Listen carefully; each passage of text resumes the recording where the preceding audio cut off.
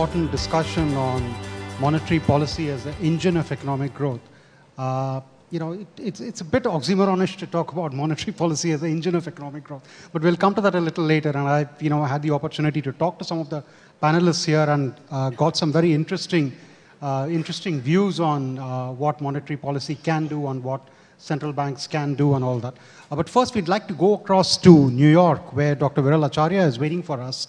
And uh, you know, as you know, it's past midnight in New York, and uh, we'd like to start with him and ask him a few questions, and he has to obviously leave the stage a little early. But if I could start with you, Dr. Acharya, can you hear us, sir?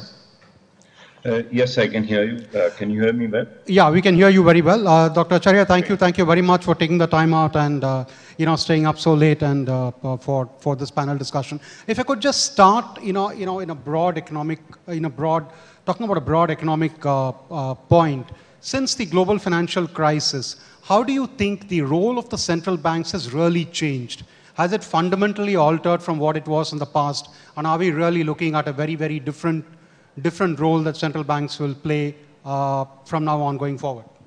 Dr. Acharya. Yeah, uh, great. Uh, thank you, Sriram. Uh, at the outset, uh, just my good afternoon to everyone in the audience. It's nice to be speaking to an Indian audience after a good break of about three months. Uh, I should also mention that I'm on a self-imposed cooling period of one year, so my remarks are more about monetary policy in general, and uh, they don't have uh, necessarily any specific slant or implications for India. Uh, of course, I think economics lies the same way in most parts of the world, and some of these may be applicable to India also. Uh, I think coming to your question, uh, my sense is that monetary policy was supposed to function as it did earlier, uh, which is that when there are cyclical shocks, uh, monetary policy is supposed to counter-cyclically adjust to them. Um, uh, unfortunately, the global financial crisis was a big shock uh, in the sense of affecting the financial stability of uh, many big financial sectors in the developed economies. Uh, and what has happened as a result is that in some countries, such as the United States, uh, uh, complementary measures to monetary policy were undertaken, such as uh, very significant recapitalization of the financial sector, uh, reforms, especially on bank capital loans. Uh, and the sum total of all that was that while the monetary policy was accommodating, uh, cutting rates all the way to zero, doing quantitative easing, you know, doing yield curve management for the government and perhaps even the mortgage yield curve. Uh, simultaneously, the financial sector was being restored at a fairly uh, frantic pace, I would say.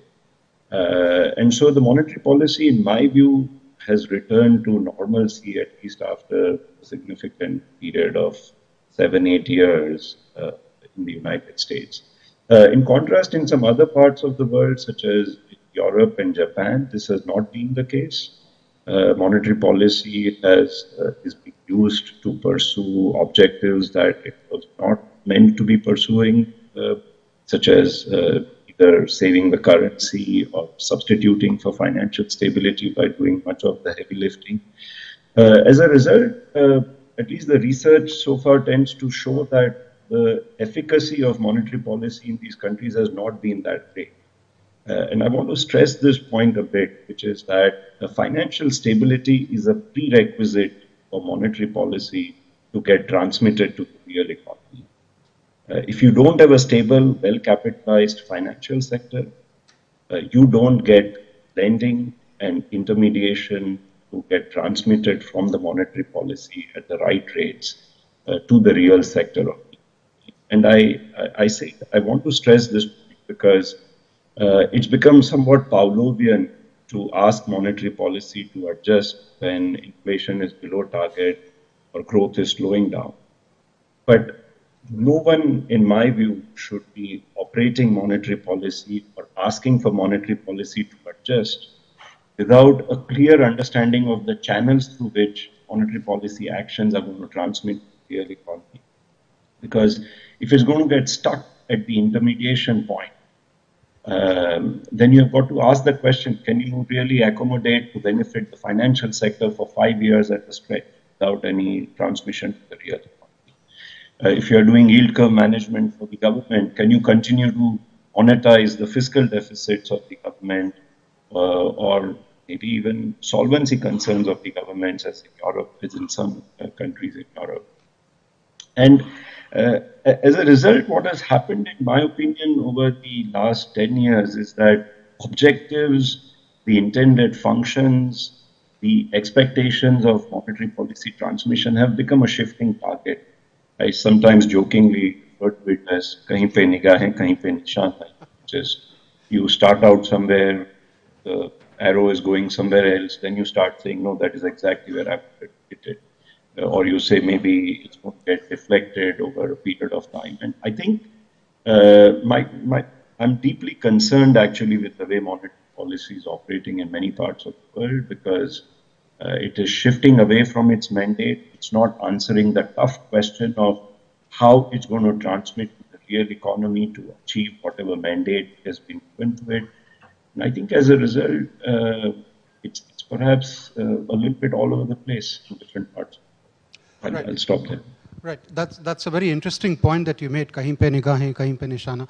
Uh, the former uh, RBI governor, Dr. Raghuram Rajan, had made this point many, many years ago that uh, monetary policy and central bankers especially uh, are in danger of becoming the only game in town that if they continue to pursue these unconventional monetary policies and the market continues to think that the central bankers are the only ones who can actually save them, uh, do you think, given the fact that uh, the global financial crisis is well, you know, behind us now, it's been more than 10 years, uh, what is the rationale or the need to continue with these kind of policies? And we're continuing to see it in many countries. I mean, not just in Japan, in Europe, and even in the United States. Uh, and we're not even talking about the amount of trillions of dollars that is there earning little or nothing, actually negative rates. Uh, I'll come to that second point a little later. But uh, what is the need for, do you think, do you think it's time for central bankers now to kind of step back and say, look, we've done whatever we had to do. Now, uh, Mr. Politician, now the ball is in your court.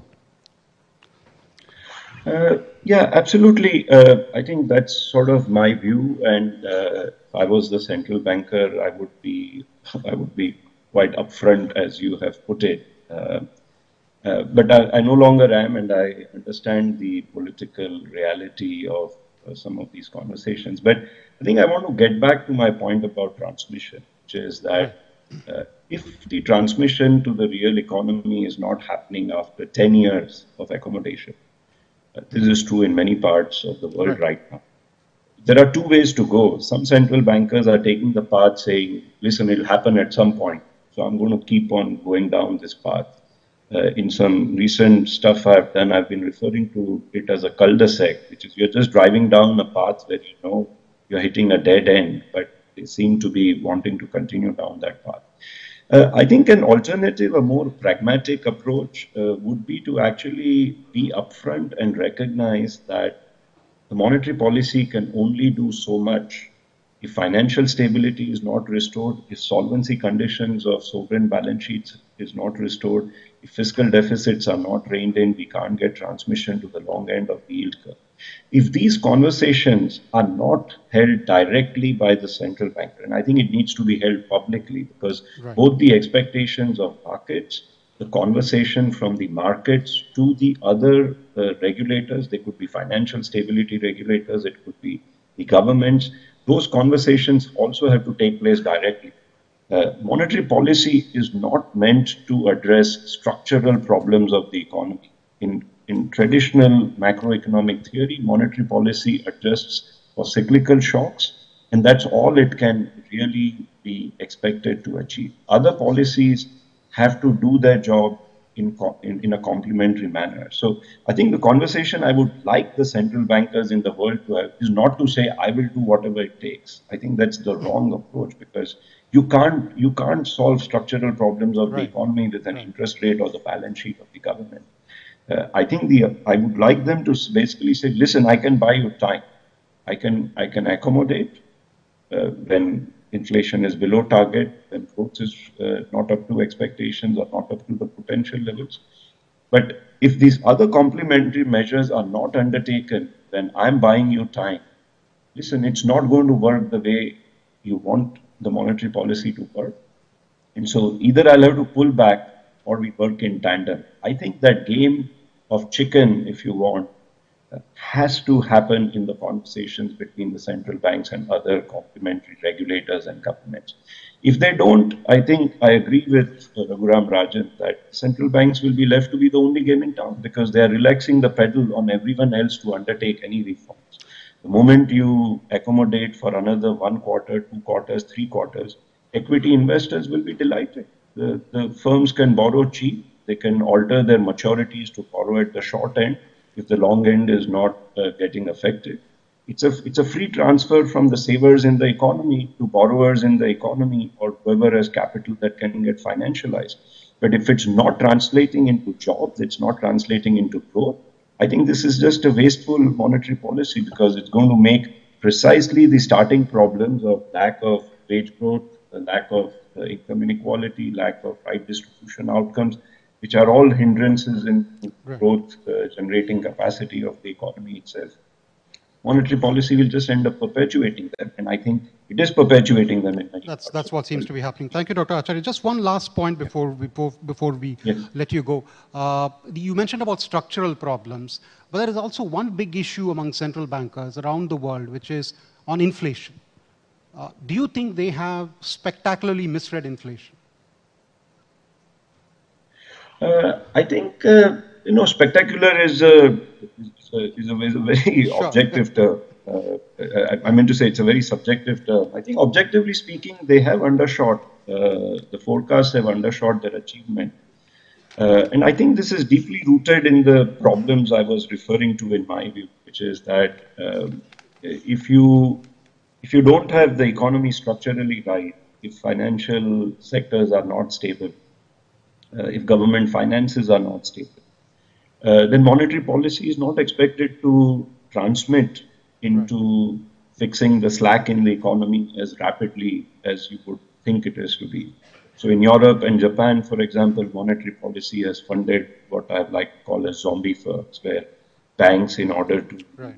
Uh, keep their capital positions, don't take losses on deep distressed assets. Instead, they keep rolling them over, hoping that the central bank will keep throwing cheap liquidity at them, either through rates or through quantitative easing. Uh, in in US uh, right now, uh, you know the level of junk bond issuance uh, has peaked.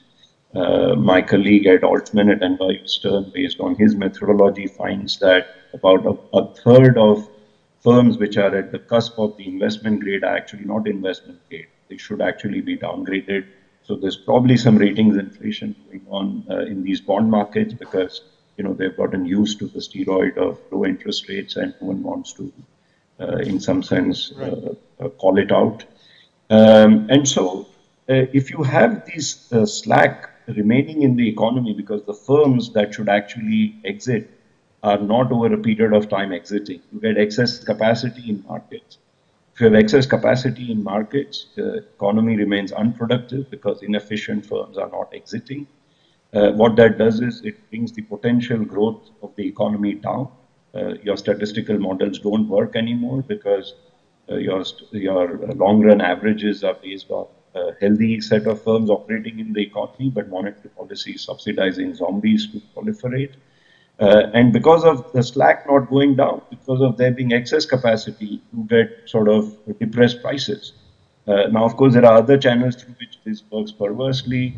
If the wrong firms are in the market, uh, then you know the wages don't rise because the investments are not taking place, uh, and therefore good right. productive capacity is not being created for the right jobs. So uh, I, I, would, uh, I think my the, the viewpoint I would like to offer is that rather than saying you got inflation right or wrong, right. I think the question to ask the central bankers is did your monetary policy transmit to the parts of the economy where you think it should have transmitted? I think if you answer that question, if you get them to answer that question, you will automatically see why they actually did or did not get their inflation predictions right, why they were or were not able to get growth to be restored to the right level because maybe actually through their own action uh, and not being able to get governments and financial stability regulators along, uh, they've actually produced uh, structurally an economy which is very different from what the steady state economy and inflation and growth forecasts are likely. Right. Let me stop there. Absolutely, absolutely. And some of those points I think are still yet to be answered in the case of India. But uh, thank you, thank you, Dr. Acharya. Thank you for staying up and giving us your incisive thoughts on these issues. It's a very important subject, and I'm sure we'll keep, we'll keep, uh, you know, we'll discuss it in the panel as well, and probably we'll keep coming back on many uh, over the next few months or years on because this subject, this topic is probably not going to go away. It's going to stay with us if you look at what's happening in the U.S. and uh, Europe. Thank you, thank you, Dr. Acharya. Ladies and gentlemen, a big hand to Dr. Thank Acharya. You. Thank you, thank you very much. Thank you, everyone, and uh, Thank you. good luck to the panelists. Bye. Thank you, thank you, sir. Jamal, uh, you. maybe I could like I'd like to start with you. I mean, you had some thoughts on the role of central banks and monetary policy as an effective instrument of economic growth. Well, Uh, okay, you know, thank you for, you know, asking me, responding to my request that I should come up early in the panel. no, no problem. Uh, you know, I'm the only non-economist here. And I have a thought, an idea, which I think is so obvious to me, but I haven't heard anybody else speak it. So perhaps it is wrong, or per- I think you need to hold it a little. Close it. Hold it. It's not even on. There you go. All right. Thank you very much. Now, just quickly, I'm the only non-economist, and I have an idea which, to me, makes a lot of sense, but everyone else may find very strange. Uh, so let me just barrel on with it because it's the only thing that makes sense to me. Now, as Viral just said, you know, I mean, clearly the global economy is in a mess, right? There is suboptimal, very low growth. There is effectively no inflation. There is huge and widening inequality, which has created a lot of political problems, amongst other things. And uh, what I would call the elephant in the room is there is more than $15 trillion of capital bonds which, is, uh, which are earning negative interest rates, right? And this is money which is being managed by professionals. So, you know, so if, if I were a doctor, you know, those would be the symptoms I would, I would list, you know. And looking at that, to me, a very simple diagnosis is that there is too much capital in the world. Right? I think it's obvious. You talk to any private equity investor, there's too much capital in the world. Two days ago, somebody, an investor, was talking to me. He's just come back from China, where they are talking not just about unicorns, but about decacorns, which means companies with a 10 billion market cap, startups, right? I mean, it's nuts. There is too much capital in the world. But why is there too much capital in the world? And this is where I think I will, let's say I might be in a majority of one. I think there is too much capital in the world because for 40 years, approximately, capital has been given a free ride from a taxation standpoint. It has always been seen as, you know, the princess in the, in the tower, if you will. You know, you don't tax capital, or you tax it very little. And if you do that over 40 years, plus, of course, that's aided and abetted by a huge evolution of an industry called tax avoidance. So, as a result of that, I believe this is the reason why we have so much capital in the world that people don't know what to do. Monetary policy doesn't work. Um, you know, people are throwing money at, at uh, uh, uh, you know, companies that should not get money. And basically what's happening, the inequality is rising because people with wealth are able to play the curve just as Viral said, and it keeps widening. It has been going on for a long time, right? In point of fact, you know, the first hint of this came out about 20 years ago during the dot-com crisis when people were talking about burning capital. I mean, before that, you know, you preserved capital. You couldn't even dream of burning capital. So I'm saying 20 years ago, there was already too much capital in the world, and it's gotten worse. Okay? So this is the prescription. Now, what is the solution? And again, I say I'm no economist, but I feel what I'm about to, what I'm suggesting makes perfect sense, right? I said, let's remember we have no growth, no inflation, huge uh, uh, uh, inequality, and uh, money that capital that's earning no return, negative return. So here's my solution. It's first step we will eliminate all income taxes, all taxes on individuals, on corporates, all indirect taxes. The only income taxes that will be levied will be on uh, senior executives who are making more than, let's say, 200 times the minimum salary, right? So let us say there is a corporate executive who's making $20 million, right? Two, one 200, that would be 100,000. The minimum salary will have to be $100,000, right? Now that won't really be a problem because now let's remember the corporate is not paying any taxes either. So he could keep his 20 million. The lower paid people will get more money, which they will obviously spend. Right? Now, if you do this whole equation with global uh, uh, tax rates, they would release between 20 and 25 trillion dollars a year of money to individuals and companies. So what would they do? Well, they'd spend, they'd save, they'd invest. What would be the result of that? Growth. Remember, we need growth. Now, you will only get growth if people spend. So you put the money in their hands. Jamal, there's a small point about the hole in government finances. Yes. So but how are you going to fix that, right? Oh, the, if the government don't get any tax revenues, what are they going to do? Well, it's very simple. As I said at the very beginning, the idea was that capital has not been taxed adequately. So you make this 20 trillion or 25 trillion dollars up from taxing capital and capital-based income. Now, there's, of course, capital gains, dividends, interest on bonds, but that's peanuts. The real capital asset that should be taxed is real estate. I don't want, you know, we need, I don't want to labor too much time on it, but if you do the arithmetic, uh, just from, and the data is a little fuzzy, but the total value, there's, there's 100 billion uh, square, square meters of real estate, built up real estate in New York. Now, if you say 75% of that is owner occupied, okay, I'm not going to tax that. Just take the balance, multiply it out by the uh, uh, you know, median price of real estate in New York, you get the value of taxable real estate in New York City alone at 50 trillion. And these are huge, insane numbers. Now, if you multiply that across the world, you'd probably come to something like 2,000 trillion. How much do you need? 25 trillion, 1%. So I'm saying you, you have no tax on labor, if you want to call it that, and you have tax only on capital. And the reason for that is because for years, capital has been undertaxed. Last point, and I'll let sure. it go. Of course, asset prices will come down real estate prices will come down, equity prices will come down. But I think that's good because the reality is today most people cannot afford to buy houses. And the re other reality is people will have money. So when the prices come down sufficiently, there will be an equilibrium where the assets will go up again. So like I said, it's a somewhat radical idea. Let me leave it there and let's get some thoughts. No, no, no problem. Thank you. Ashima, uh, we had two very interesting conversations so far. I mean, Jamal talking about the excess capital and Dr. Viral Acharya basically saying that, look, you have a lot of structural problems there out in the economy. How do you expect central bankers on monetary policy to fix all those? What do you think? I mean, we've had monetary policy experiment after, sorry, we had monetary policy experiment after experiment in the last 10 years. Uh, has it really gotten us anywhere? Yeah, I think I'll start with Jamal's idea since they're most immediate.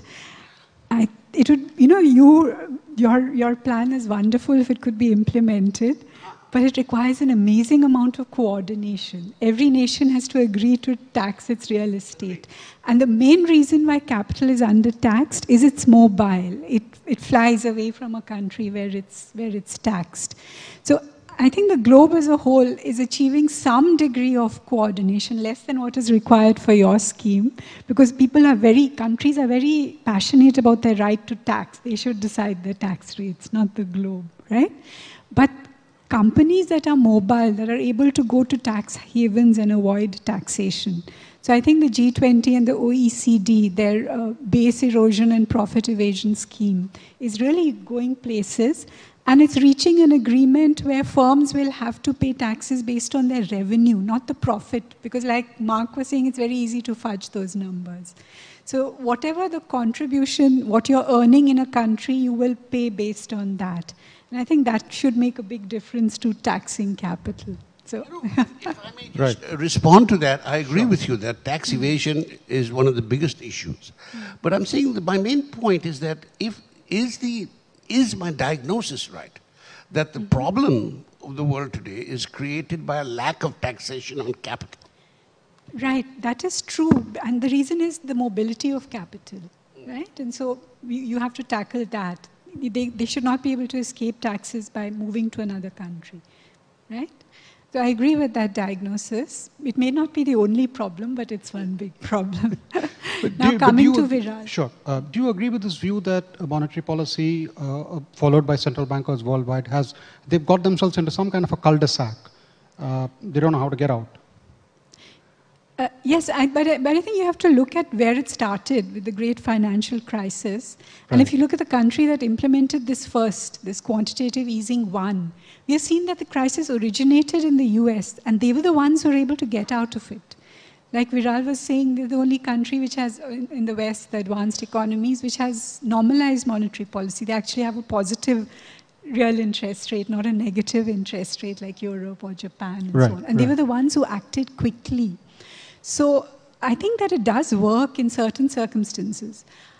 And it has, been, it has gone on for too long. There's, it's easier to do to cut rates than it is to, uh, for parliaments to pass spending plans. But it's recognized worldwide that in this low interest environment, government spending has been too little.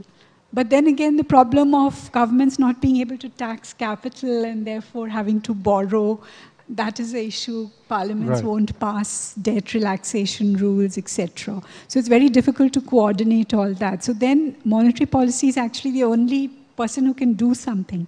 And like Bernanke used to say, you're, you're, that time, I remember the analysis, I think Aiken Eichengreen had a graph which showed a lot of uh, diagnostic graphs going like this and then just like that, you know, absolutely down. So you were heading for another great recession. And I think the policies followed QE right. and cut to zero rates and so on really did save the US. Now, the problem I have with Viral's analysis is that in, in, um, in standard times, it's true. Monetary policy should just focus on counter-cyclical around some steady state, which is driven by the real economy. But in non-standard times, a major objective of the central bank is the le lender of the last resort financial stability comes not only from regulations right. and regulatory right. actions, but also from providing liquidity. You are the sole provider of liquidity. When markets freeze, as they did in the US, no, and uh, then asset values, their fire sales and asset values are just sinking. So what is an illiquid situation quickly becomes insolvency. Right, right. So then they have to step in and save. So now when someone like Raghuram or Viral comes from the US or, or from Europe or from uh, studying Europe where monetary policy has been overutilized and apply that in India, then it can go very wrong. Because I think if you were to compare India's situation today, it should not be with Europe today, but say right. with the US in 2008. Because we are seeing something of a market freeze. If you see our, our data, there's such a sharp fall in credit right. the last That's six right. months. It's because, uh, uh, for whatever reason, um, the financial sector, the, you know, if, if it was true that by abstaining, keeping monetary policy tight, you force governments to solve structural problems and the financial markets start working perfectly. The last 10 years, since 2011, India has been following very, very tight monetary policy. Financial markets should be working perfectly. But they are in very bad shape here. They're not right. providing Absolutely. credit at all. Absolutely. Absolutely. So it could be when the rest of the world, I think Mark made this point, had negative interest rates. For our firms, the real interest rate was something like 12% because the CPI was high, but producer prices were very low, negative. And how can you do productive investment with such high costs? With, with such yeah? high rates. Yeah. Right. Uh, real, if I could come to you, uh, mm. we've had RBI cutting rates over the last, say, one year or so. We've had liquidity now coming back into the system. But you still have very, very poor credit flow. I mean, as Ashima was saying, credit seems to have just fallen off a cliff. It's probably better than what it was in October last year, but it's still very bad. Uh, transmission, central bank acting too late, too little. What do you think are the reasons? Uh, I will say that, you know, uh, the problems we face today had their genesis in the liquidity crunch of last year. Right. Both in terms of, you know, the RBI hiking rates and not providing liquidity. Now, things started turning uh, somewhere around December. Uh, and, and of course, the first rate cut was in February. Now, I think there are two, three things here. Number one, when the RBI puts in one rupee of primary liquidity, it takes at least six to nine months for that to convert into, uh, let's say, six, five rupees of bank loans or, you know, seven rupees of money supply. That gestation lag, I think, got uh, further elongated by the fact that we had elections, and that led to a drawal of cash. So it's really somewhere around June that you've seen that process starting. So, you know, clearly a lot more time to go before the RBI's measures take, take uh, bear fruit. So that's one. The second thing that has happened is a collapse of commodity prices, a collapse of the WPI inflation. WPI inflation is down almost 250 basis points. So as a result, you know, what has happened is that your real lending rates have actually shot up despite RBI easing. So if you see the MCLR, the MCLR is down 40 basis points. But if you adjust it with core WPI, that's up 120 basis points. The average lending rate has actually not come down. It is up 8 basis points. And therefore, uh, you know, the uh, real average lending rate is almost up 200 basis points. So given that you had these two shocks, you know, the collapse of commodity prices on the one hand and, and the elections on the other, I think that it will take at least three to six months more for the RBI's measures to, to pan out. So I think that, you know, maybe at some stage, the RBI will have to think of direct measures to bring down the average lending rate. It could be a CRR cut, it could be a subvention for the SME sector, but, you know, there is clearly, a, a you know, a lo longer uh, period. So you think the rate cuts are not helping? Not rate helping cuts enough? are helping, but they need their time to bear fruit. Right.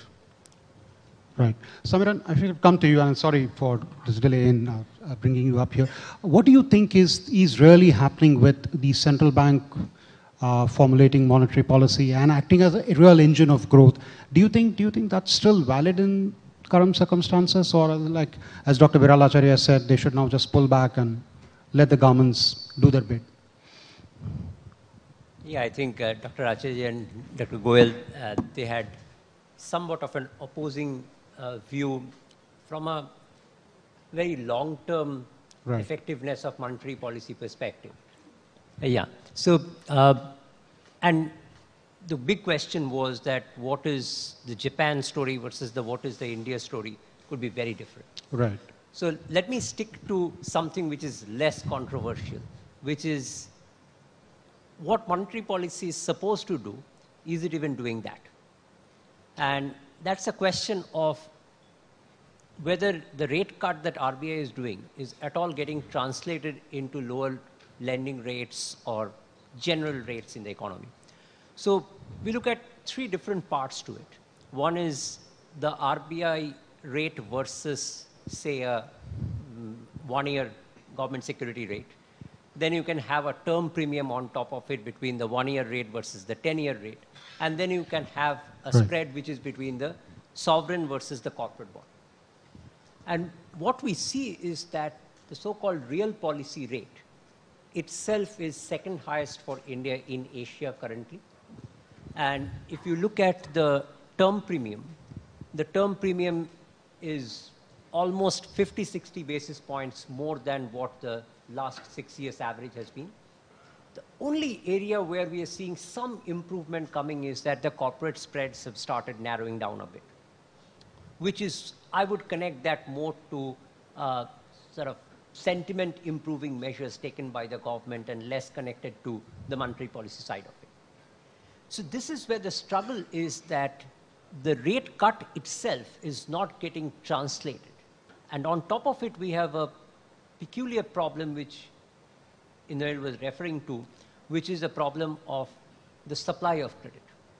This is only the cost of credit. On the supply of credit side, we are seeing this very interesting phenomenon that the RBI is creating money at 15% year over year growth, but the actual money supply in the economy is growing only at 10%. Right. And this is an area which, in my view, one solution is a CRR cut sort of thing, which will drive up the money supply growth also. But I think what is, and this is true globally, that it's connected to sentiment. So it's like RBI is putting up a tap, but there is a pump in the financial system which gives leverage to this money. That pump is not working. And that pump will work only when you will have enough confidence in the system uh, and, and that's when both the engines will function, that you will have both lower rates as well as availability of credit improving. That's when monetary policy can be effective. Sorry, but when you talk about the pump in the system and you talk about the sentiment part of it, how much of a role can RBI or any central bank really play? Because if you talk to any bankers, and I'm sure all of you keep speaking to bankers on a regular basis, you speak to any banker, uh, there, is, there is a genuine fear of lending to certain sectors there is a genuine fear of lending to probably industry as such. I mean, some of the biggest banks saying that we want to push up retail credit to a particular level, 60 or 70 percent. Uh, how does how does one solve this? And maybe I can ask any of the panelists to respond. Maybe Samiran can have yeah, a go at it first, and the others can follow. Sure. 30 second response. I think there are no easy answers here. Uh, the, but the thing is that in any cyclical downturn, you will have uh, sort of risk appetite reducing. Going off, yeah. But the fact that you have two and a half, three trillion rupees of excess liquidity in the system, at some point of time, will have to flow into the economy.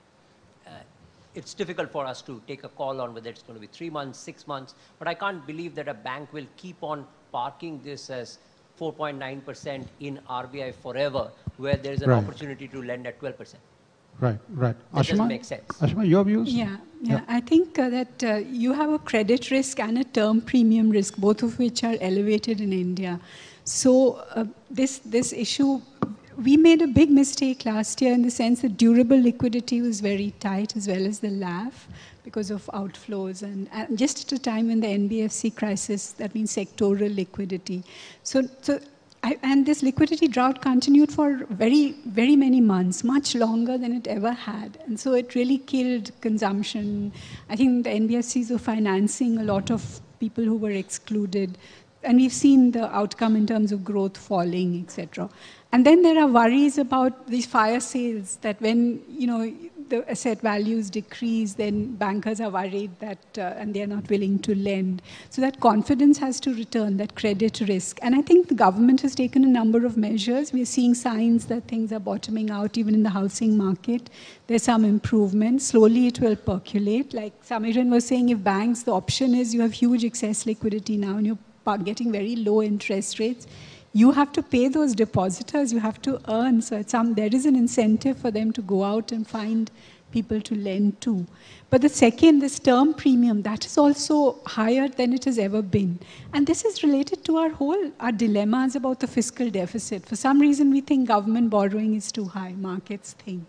And, you know, coming back to the parallel with global monetary policy, what did the US do in Q, QE1? They bought US government securities. The, the Fed, Fed right. did that. And in India, uh, the, the RBI did a lot of this for, you know, after the big drought when they were building up durable liquidity. But recently they announced that they're going to use FX swaps or whatever, and we are seeing a lot of inflows. So then the central bank, you're getting again foreign securities, but you're not buying local government securities. And I think this we need to think about because if there is a parallel between India today and markets freezing and term premiums being elevated, then the part of transmission is to get those term premiums back to the normal 60 basis points. And I think an announcement of open market operations, that's one way that that transmission can improve also. So, right. Uh, hmm. Sorry, Jamal. Yeah. I think another issue that you is basically investment sentiment. We're right. talking here about the supply side of credit, you know. Yeah. But ultimately, I think basically in the country today, investment sentiment is quite negative. So, okay, there are difficult borrowers, but there are good borrowers who are not borrowing. You know, people are investing overseas rather than locally because they're really not sure right. as to what, you know, let's say very uncomfortable about what the future holds. I think that's another element in the pot. But that's something that the government can probably do, and it's probably doing Absolutely, extent, I yeah. understand that. I'm just saying Yeah. that is another issue today. You know. Right, right. Indranil, your uh, I just on... wanted to, you know, say that there's another committee where Dr. Goel and I sit, and a point she made that, you know, in a war you don't give up.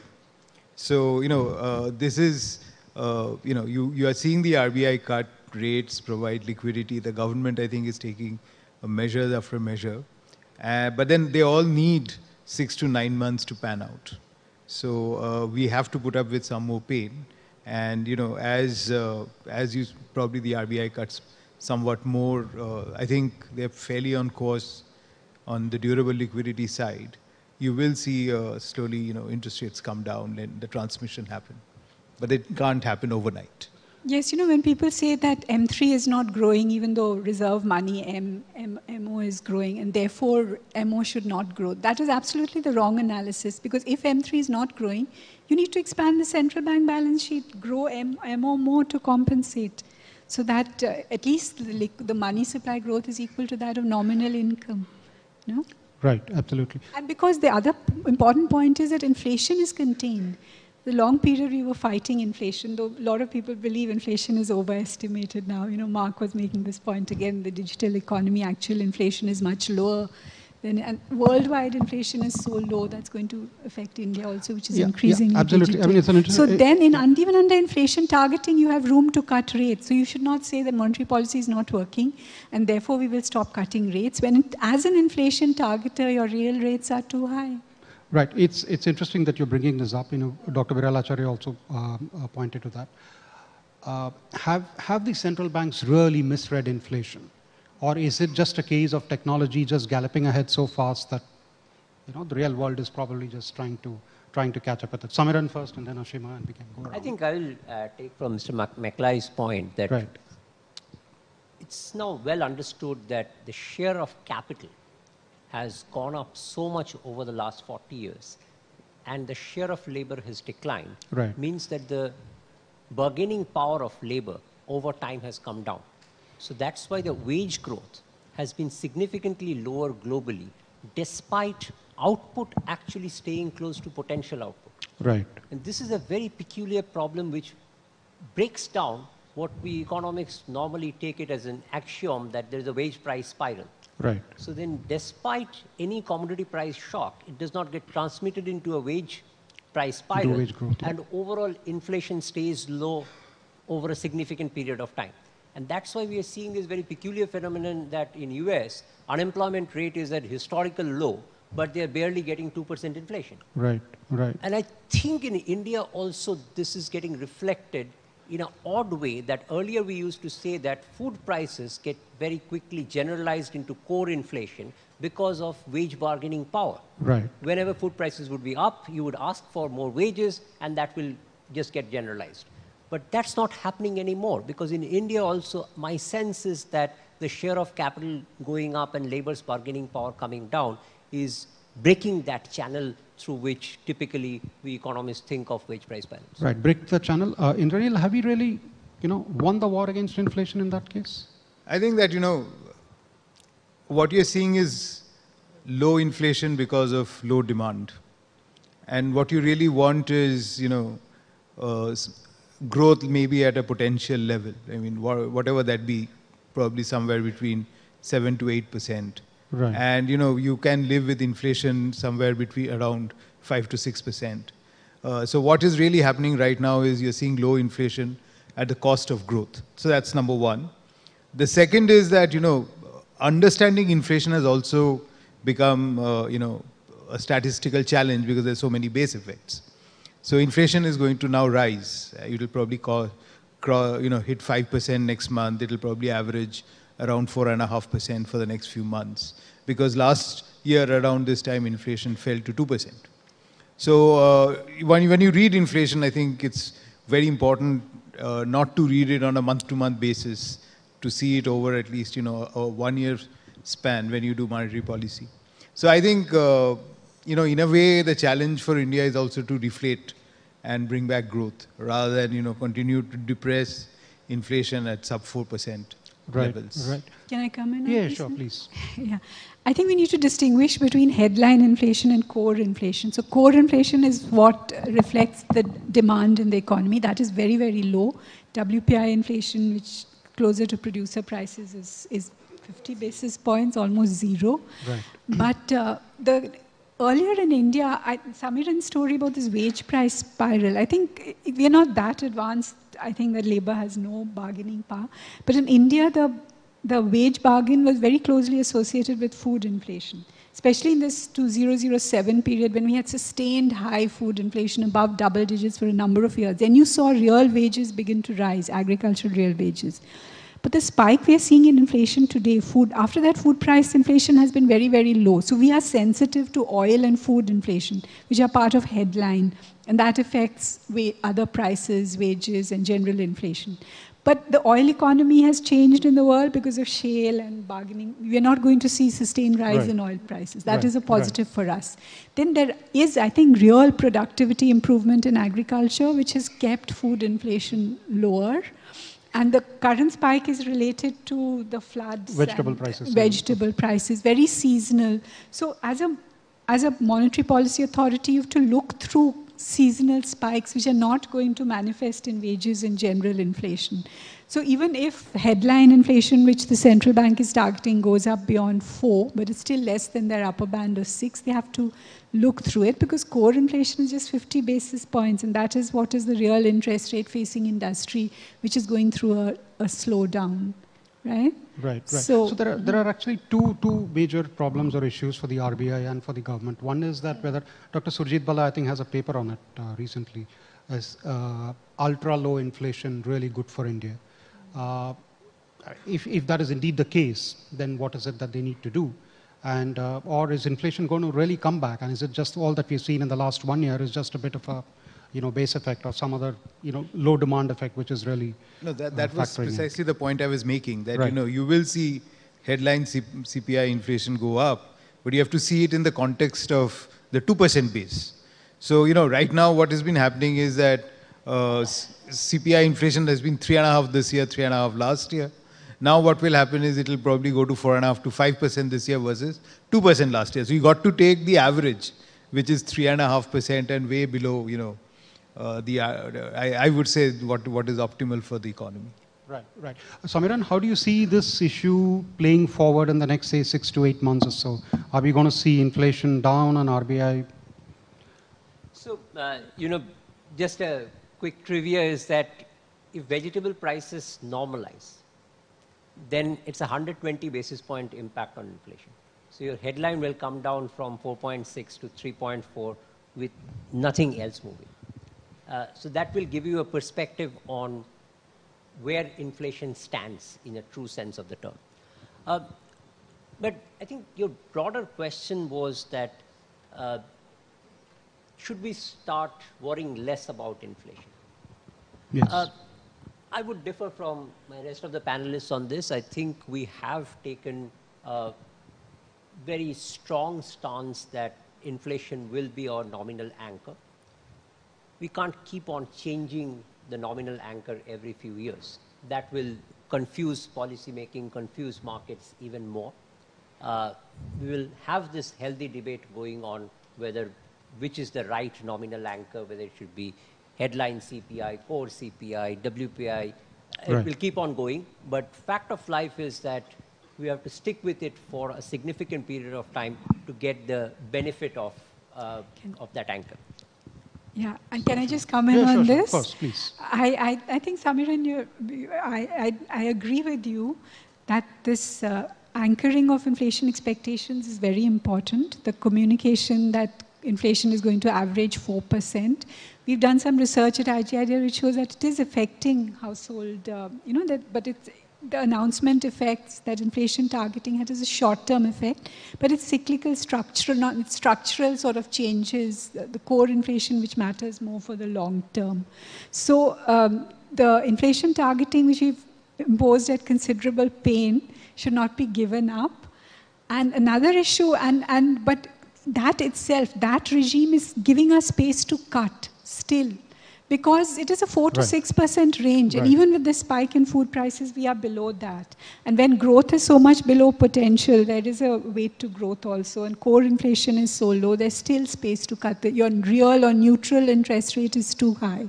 But another sensitive issue in India is when you talk to bankers and so on, they are very, they, they say they have, they have to worry about competition because they have to have higher to attract deposits. Now, people have avenues such as equity and mutual funds and so on, and they will go away when the, there's a sort of money illusion here. Savers are actually getting a real positive return.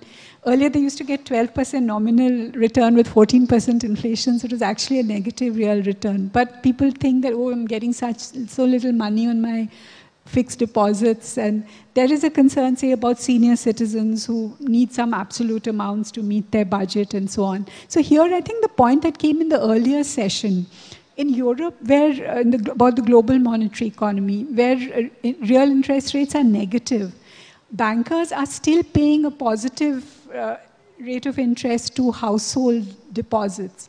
But they're charging firms negative interest rates, and firms need those liquidity services. So I think in India, one answer is to have differentiated interest rates, higher for, say, senior citizens. They're already high, they can be even. So on the, on the While, so, you know, to meet this psychological sort of, and that, uh, or taxes on bank deposits can be removed for certain categories and they're competitive with equity. And so we need to think of this sort of issue also when we are. uh, right. So on the issue of is the to inflation, use we're moving word to lower nominal rates and Yeah, yeah. therefore lower interest rate. No, nom- lower inflation and therefore lo- lower nominal interest So rate. on the issue of the inflation band, 4 to 6 percent, you're not in favor of extending that band or increasing that band a little more. You're fine with where it is. Samir. Use the flexible inflation targeting. The word flexible, I think, has and you been have lost. you have two years to you know where you can deviate from the band without so there should not be overreaction i think in the early years of implementation central bank has been too strict too worried about meeting that band Right. Okay. So we're going to be we're running out of time. I just have time for one last set of questions, and I'll start with Jamal on this because you started off by saying that you're the only non-economist here. So you, you're the man from the real world, so to say. Uh, so if you look at the future, if you were to ask you to gaze into a crystal ball and see the future where technology and digitization is going to play a huge, huge role, uh, what is the kind of role that you think a central bank should play when it, on, a, on a number of things, whether it is to do with bank management, markets? See, I, frankly, you know, uh, I was thinking before this really about the global economy. India is clearly in a different picture, you know. Sure. I think, um, but I think the one thing that is uh, should apply in both cases. You know, historically, we used to say a central banker was someone who took away the punch bowl right before the party started. Now, very clearly, globally, what's happened is they have been the bootleggers. They have been delivering the booze, yeah. right? So I think that principle should remain in India, right? Now, there may be differences of opinion as to uh, is, when the party starts or where the party is right, Right. now. And I also feel, really the point I raised earlier and I mentioned again, is that we're focusing really on monetary policy and the central bank. But you can't do that sort of in a vacuum. I mean, the government, fiscal policy, sentiment, I mean, all of it is one part. You can't play, you, know, you can't play this musical instrument alone. Right, right. Indranil, your views? I think that, you know, in India you have this uh, 1881 uh, Negotiable Instruments Act, which says that uh, all transactions must happen through the banking system and, and the RBI. So as long as that act stands, you know, you could have more and more of financial innovations, but they would still go through the banking system. So uh, I, I don't see much changing in India, at least, you know, in the next 10 years, unless you are really talking of scrapping that act. Right, okay. Samiran, how should monetary policy, you think, evolve to uh, face the challenges of the new world? I think I'll go back to where Dr. Acharya started from. I think the role of central banks in maintaining financial stability.